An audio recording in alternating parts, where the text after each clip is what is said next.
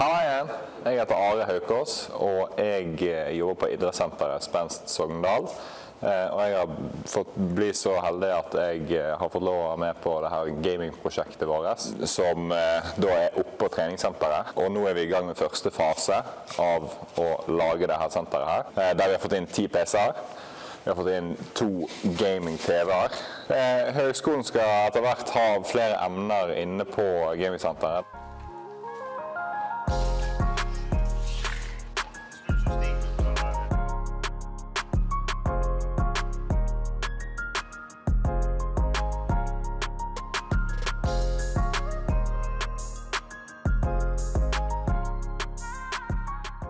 Skal vi ha fleksekonkurranse for ladiesene på YouTube?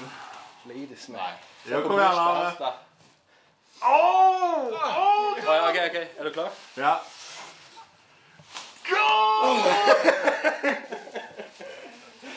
Jeg tror du vant. Få se, da, en til. En til. Det var faktisk vondt. En til. Oh! Hvem sier at uh, gamere er så jævla godt trent? Og, uh, jeg har den. Jeg har den. Oh, hell yeah!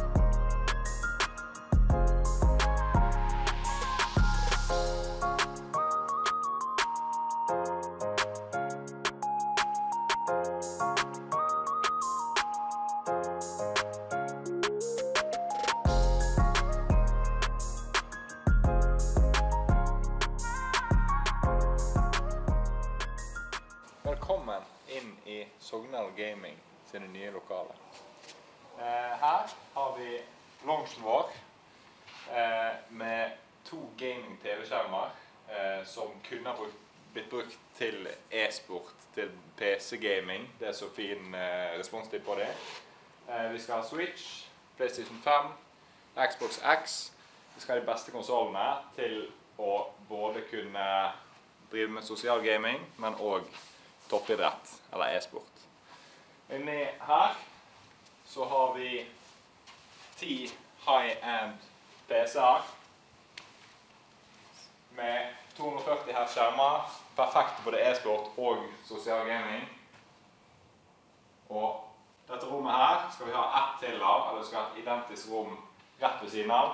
Så vi kan ha to grupper på 10 stykker, eller en gruppe på 20, med å bare ha et vindu gjennom veggen her. Vi skal òg ha eh, enda større launch inn i nye kontoret her inne, der vi i tillegg skal ha to VR-stasjoner eh, og eh, forhåpentligvis tre green rooms til streaming, eh, sånn at folk kan lære seg å streame. Eh, og der skal vi òg ha mer konsollgaming.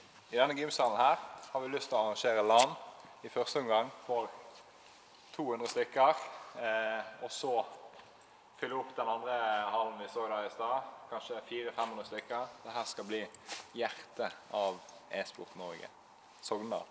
Mark my words. Ok, da kan vi gå og se litt på resepsjonen til idrettssenteret. Og så kan vi gå bort og vise klatreveggen.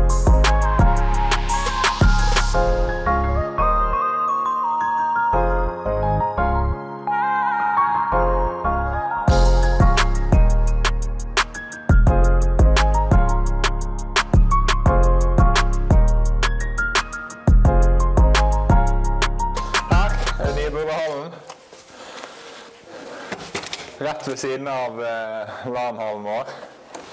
Velkommen inn.